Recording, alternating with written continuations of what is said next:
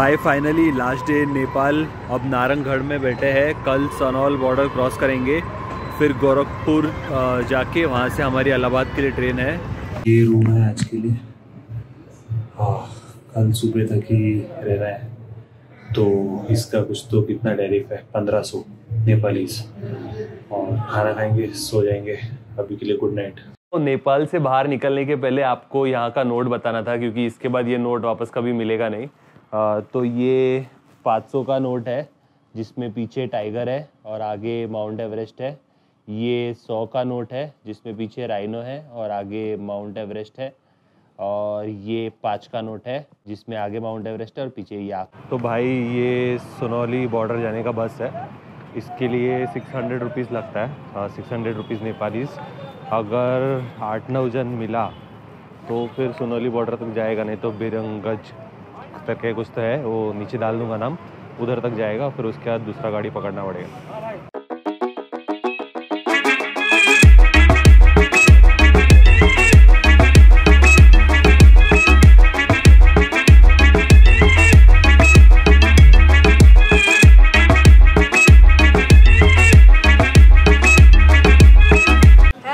नाम क्या है? इतना गर्दी नहीं है बैठ सकता है कंफर्टेबली दिखने में थोड़ा सा ऐसा लगता है अनकंफर्टेबल है।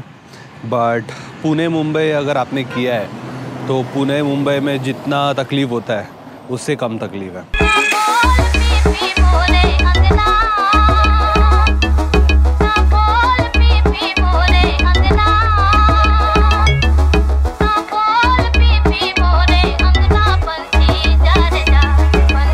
अभी हम लोग ऑलमोस्ट सनौली बॉर्डर पहुँचने वाले हैं। यहाँ पे बहुत ट्रैफ़िक है क्योंकि ये जो ट्रक्स वगैरह है इससे सामान इधर से उधर क्रॉस होता है। तो ये बॉर्डर एक ही बॉर्डर है जो 24 फोर आवर्स खुला रहता है इंडियंस के लिए इधर से उधर जाने के लिए। और सीन ये है कि अ, बाकी सब बॉर्डर्स उसका टाइमिंग है। और यहाँ पे परमिट पे स्टैंप लगता है। तो अभी वो लगाएँगे और फिर आगे क्रॉस करेंगे। तो जैसे ही हम लोग बस से उतरे बहुत कुछ ऐसा ऑटो वाले और गाड़ी वाले आके पूछने लग गए कि आपको किधर जा रहा है? तो एक गाड़ी वाला मिला जो हम लोग को ये गाड़ी तक लेके आया और यहाँ से हम लोग को गोरखपुर छोड़ेगा वो। तो भाई सीन ये है कि बॉर्डर पे कुछ चेकिंग वेकिंग नहीं होता ऐसा बोल रहा है। अ, बस हम लोग अभी बॉर्डर जाएँगे और जो बैग है वो सिक्योरिटी चेक होएगा बोलता है टैक्सी वाला कि बस बैग डालना है और वो चेक होके बाहर आ जाएगा। और हम लोगों को फिर उस पार लेके जाएगा डायरेक्ट तो देखते हैं क्योंकि सफ़र लंबा रहने वाला है, थोड़ा फ्रेश होने का हम लोग ने सोचा तो उसने बोला, आगे एक होटल है फ्रेश हो जाओ। तो फ्रेश हो जाएँगे और फिर निकलेंगे अपन।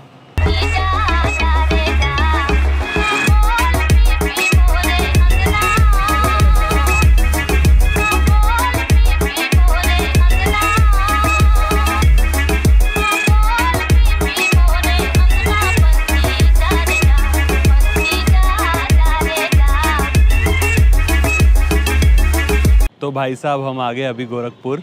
आपने जो देखा, अभी वो हम लोग ने बॉर्डर क्रॉसिंग किया। इतना कुछ नहीं है बॉर्डर क्रॉसिंग में मतलब। जनरली कैसा है कि फुट ट्रैफ़िक बहुत ज़्यादा होने की वजह से और गाड़ियाँ भी काफ़ी आती है। तो ट्रक्स भी रहते हैं, बहुत सारा सामान भी इम्पोर्ट एक्सपोर्ट होता है, जो बॉर्डर पे से है। लैंड बॉर्डर है ना तो उसके वजह से बहुत सारा ये होता है फुटफॉल तो उसकी वजह से वो लोग मतलब इंस्टिंग पे स्क्रीनिंग करते हैं।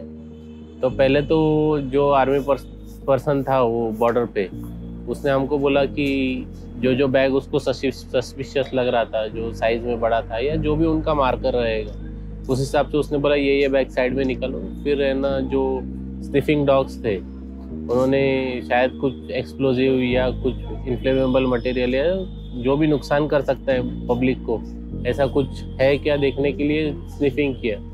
फिर है ना, सामान स्कैनर पे से पी गया।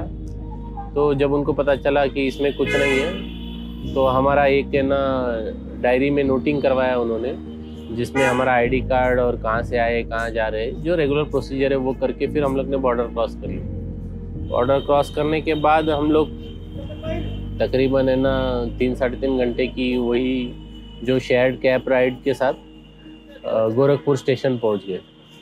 वहाँ हमने सोचा कि हमारी रात की 11 बजे की ट्रेन है तो फिर क्या करते हैं? इतने टाइम में कुछ गोरखपुर में देखने लायक है तो यहाँ का एक फ़ेमस मंदिर है, गोरखनाथ मंदिर, जो आप यहाँ देख सकते हैं। तो वो हमने देखने का सोचा, जिससे क्या है कि गोरखपुर की एक याद रह जाएगी और काफ़ी फ़ेमस स्पॉट है और गोरखनाथ जी का दर्शन भी हो जाएगा।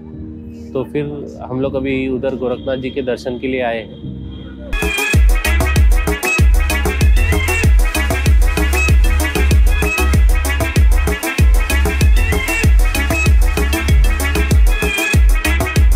साइज़ देखो दोस्त लोग। खाले खाजा। खाजा खाजा। वाओ खाजा स्वीट बहुत मीठा है क्या? नॉर्मल छोटा वाला खाजा जो आता है, उसमें शक्कर का वो डालते हैं, पानी। इसमें खोआ भी डाला है। और ये नॉर्मल पूरी जैसा है मतलब उससे थोड़ा क्रिस्पी है, पर पूरी के साइज़ का है।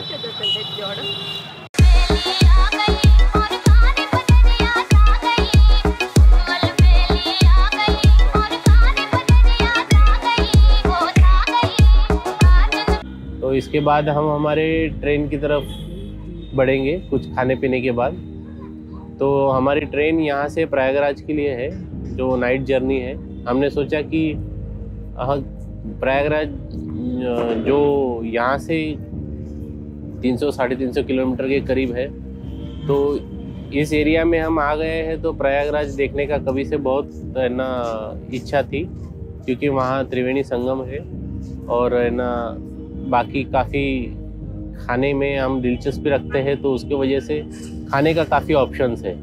तो हमने फिर क्या किया कि ट्रेन नाइट जर्नी वाला बुक किया ताकि हमारी नींद भी पूरी हो जाए और मॉर्निंग में हम फुल एनर्जी के साथ घूम भी सके। और साथ ही लखनऊ में भी खाने का जो आइटनरी है, वो भी पूरा हो जाएगा। तो उसकी वजह से हम फिर प्रयाग प्रयागराज से अगले दिन सुबह ट्रेन पकड़ के लखनऊ जाएँगे और फिर वहाँ एक दिन स्पेंड करके रात के फ़्लाइट से वापस बैक टू मुंबई जाएँगे।